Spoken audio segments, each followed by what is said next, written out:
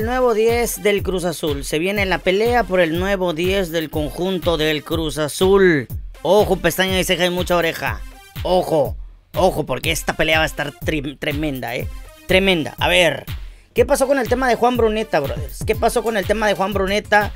¿Llega el Cruz Azul? ¿No llega el Cruz Azul? ¿Qué sucede con este futbolista? Seguramente va a llegar a otro equipo o ya el Cruz Azul tiene pues en la mira a otro futbolista. ¿Qué está pasando con Juan Bruneta? Que la verdad es que hoy por hoy parece ser que sí hay muchas posibilidades de poder llegar este precisamente en el mercado, ¿no? Dicen algunos, dicen algunos todavía, ¿no?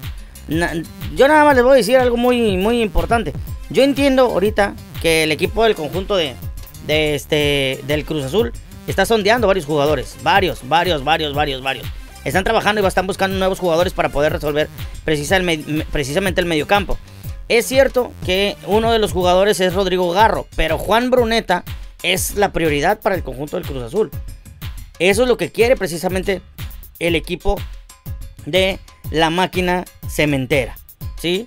Eso es el equipo de la máquina cementera. Ahora, el problema, otra vez se los vuelvo a repetir, se lo vuelvo a decir, el problema del Cruz, del Cruz Azul es precisamente las contrataciones que no llegan a consolidarse, eh, que sí llegan al fútbol mexicano, pero no se consolidan. Llegan al fútbol mexicano, pero no hay consolidación, no hay absolutamente nada. Nada de nada, así como lo escuchan. Nada de nada, no hay nada. Nada. Entonces llega uno al final de cuentas y dice, pues no manches. No, este, está cañón así. O sea, no se puede. No se puede. Entonces, en el tema ponen precisamente a Juan Bruneta y a Rodrigo Garro que no es el indicado para la institución. Por más que ustedes lo busquen, por, más que ustedes digan, ¿sabes qué? Pues es el indicado, es el futbolista que nosotros queremos, es el, es el, puede ser el nuevo 10. No, brothers. En realidad, en realidad, el volante precisamente argentino, porque pues, estos dos podrían ser las meras cuerdas. El volante argentino, sí, podríamos decir, ¿sabes qué? Posiblemente te pueda dar soluciones, pero los números, digamos que sí están un poco al parejo entre Juan Bruneta y el futbolista eh, Rodrigo Garro.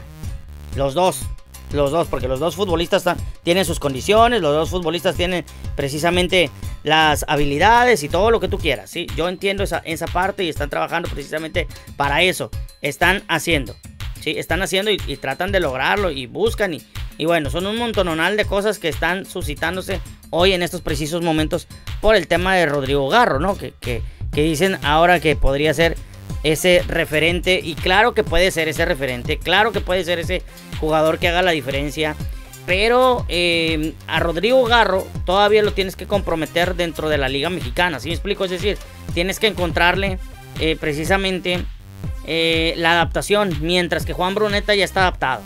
Juan Bruneta ya está adaptado. Ese es el problema del Cruz Azul. Que va precisamente a experimentar. Y no es cuestión de experimentar.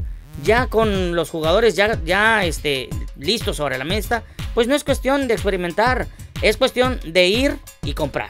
¿Sí? Es cuestión de ir y traer. Ir y reforzarse. Esa, eso es lo que se tiene que hacer. Esa es la idea. Y eso es lo que realmente tiene que hacer el equipo. Ir precisamente y este comprar, ¿no? Comprar y adquirir. No hay necesidad de estar ahí experimentando. Por eso les digo, desde mi perspectiva, desde mi posible, desde mi, desde mi punto de vista, hoy creo que el equipo del conjunto de el, del Cruz Azul tiene que ir, tiene que ir precisamente con este con toda la actitud. Con toda la actitud.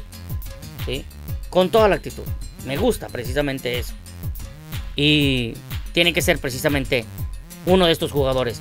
Si nosotros, ojo, ojo, si nosotros vemos a dos jugadores como Rodrigo Garro, como este, como este, ¿cómo se llama?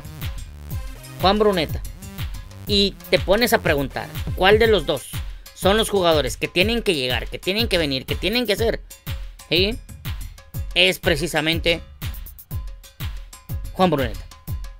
No hay de otra, no hay más, no le busques nada, nada. Es Juan Bruneta. Juan Bruneta el indicado. Juan Bruneta el que debe. Juan Bruneta el que tiene que ser. No es otro ni nadie, ni nadie más. Es Juan Bruneta.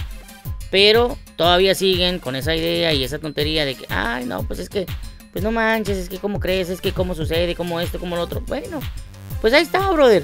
¿No? Ahí está. Esa es la situación. Hoy creo que sí, el equipo del conjunto del Cruz Azul tiene que tomar cartas en el asunto. Tiene que comenzar a analizar muy bien cada una de las propuestas que tiene sobre la mesa. Es momento de tirar la casa por la ventana, es momento de hacer, es momento de reventar, es momento de deshacer. Es momento de hacer lo que se necesita para que el equipo del Cruz Azul fluya, haga, tenga que eh, lograr objetivos, objetividad, transformar al equipo. Y necesita un jugador como Juan Bruneta. El nuevo 10 del equipo del Cruz Azul es Juan Bruneta. No hay nadie más. No hay nadie, no hay nadie más. ¿Sí? No hay otro. No hay otro. El nuevo 10 del equipo del Cruz Azul es Juan Bruneta y se acabó el corrido. ¿Sí? Se acabó el corrido.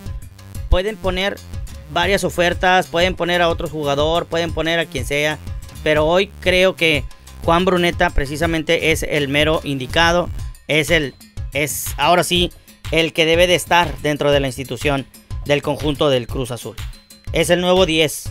Y sí, pudiera ser que viene el nuevo el 10 argentino, el 10 este que bueno, eh, posiblemente el 10 tenga que ser argentino, así como lo oyen. El nuevo 10 podría ser precisamente argentino, o sea, seamos honestos y seamos realistas.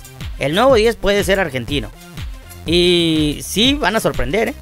Yo digo que sí van a sorprender porque pues va a llamar mucho, va a llamar mucho la atención el hecho de que cualquiera de estos futbolistas pudiera llegar al equipo de la máquina de la máquina celeste. No, este bueno, pues son son ¿qué será? Es lo que todo mundo está esperando. Es difícil porque estamos hablando de una contratación eh, pues ahora sí como dicen por ahí complicada, complicadísima. Pero al final de cuentas pagar esa cantidad de dinero para el conjunto de, ¿cómo se dice? Para el conjunto del Cruz Azul sería, sería excelente. Sea, el, Cruz Azul pagaría esa cantidad para poder traer a esos refuerzos. Y con Juan Bruneta pues se puede hacer. Ahora, el Monterrey y Tigres van a tirarle con todo, ¿eh? Monterrey y Tigres van a tirarle con todo. Por este, por Juan Bruneta. Van a ir con todo, lo quieren tener y van a traerlo para poder cumplir con, ese, con esas expectativas y con ese trabajo. Así que eh, la pregunta aquí es, este, ¿por cuál se va a decidir el conjunto del Cruz Azul? ¿Quién va a ser el nuevo refuerzo? ¿Quién va a ser el indicado? ¿Quién va a ser ese fichaje? ¿Quién va a ser ese refuerzo que llame precisamente la atención? ¿Quién va, quién va a lograrlo? ¿Eh? Porque una cosa es decir, otra cosa es que al final de cuentas pues se logre precisamente la contratación, ¿no? Eh, que eso ahí ya es más complicado. Pero bueno, como, hemos, como bien hemos venido mencionando, en la Liga Mexicana todo sucede, todo puede pasar, todo se puede dar. Y el conjunto del Cruz Azul puede dar muchas sorpresas todavía. Pero hoy por hoy, si tú quieres escoger a un 10, tiene que ser Juan Bruneta y no precisamente este, este, ¿cómo se llama? Ah, hasta el, fíjate, hasta el nombre se me olvidó. Este es Rodrigo Garro. Es, es, el, es el bueno, ¿no? Rodrigo Garro.